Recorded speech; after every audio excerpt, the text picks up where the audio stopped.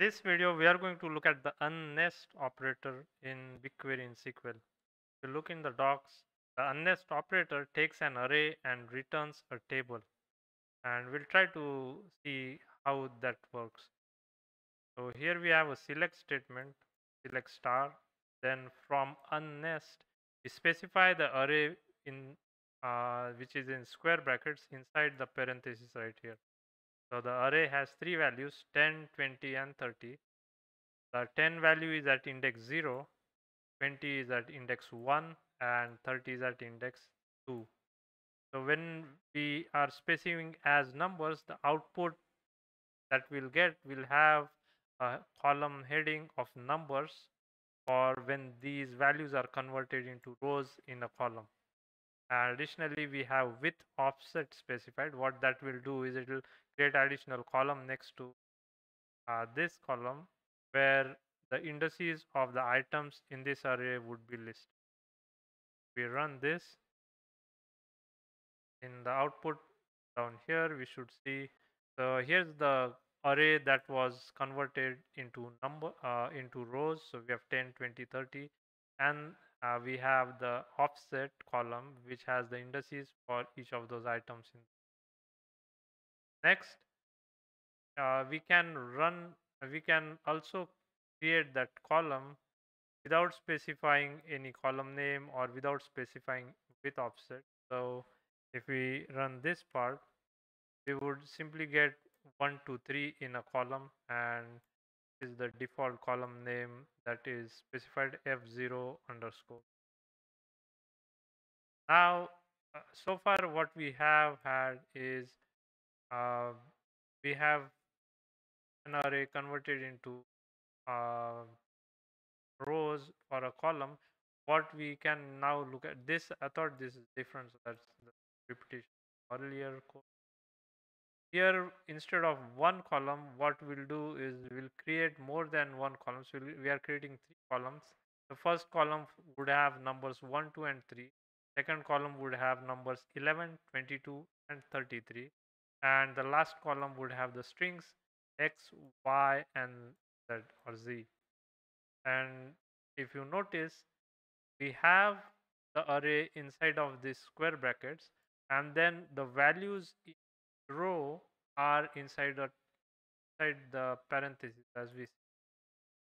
so we uh, so this if you are familiar with python this would be like a tuple where we have uh, the values now when we run this particular line of code we should see three columns created and as expected we have three columns.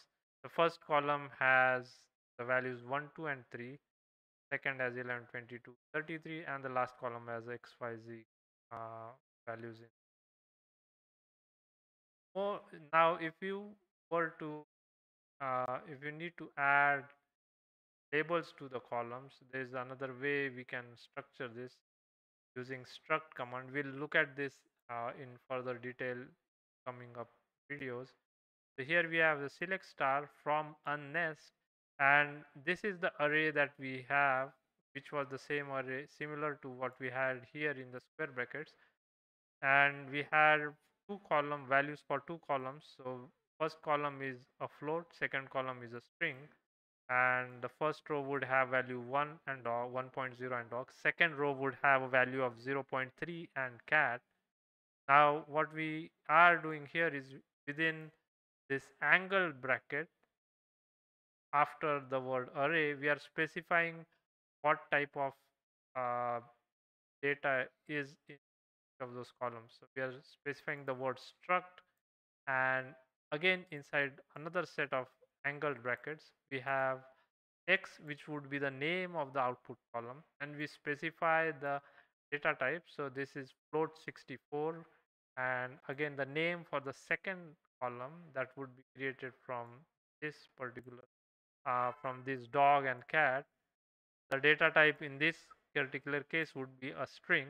Now when we run this particular line of code, we should see two columns x and y as we have here and the first column has values 1.0, 0.3, second has dog and cat.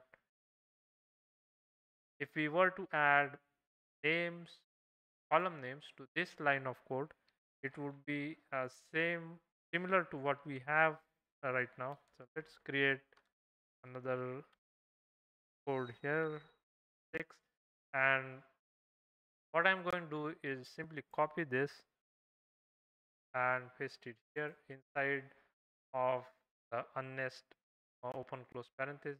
And then here we have uh, uh, three columns. So we need to specify three names uh, for columns here and along with the data type. So let's call this x1 x2 and then the last one is string. If we run this particular code you would see three columns x1 x2 and last column y which is that was it for this video. We'll continue this discussion on uh, unnest using struct in. Please like share and subscribe. Thank you